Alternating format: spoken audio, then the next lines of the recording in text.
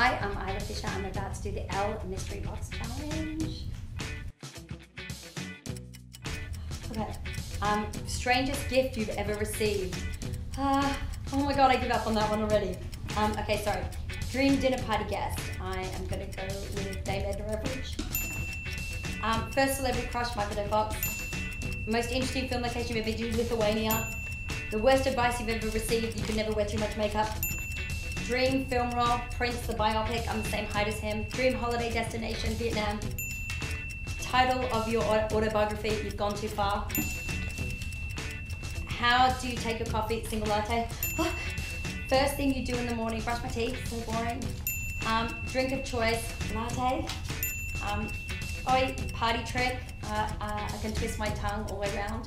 One thing you could never give up, coffee. Oh my god. The last thing that made you cry, uh, Donald Trump getting elected. Last book you read, uh, Tibetan Book of Living and Dying. Um, last person you called, husband. Okay, done. Son of choice, Black Velvet. Advice for your 20 year old self, don't sweat the small stuff. I'm on the last one. Favorite binge watch on TV, anything on reality. Amazing. But I missed one, the first one. Strangest gift you ever received. I'm sorry, that was quite um, strangest gift I've ever received. Uh, oh, a rug, a rug.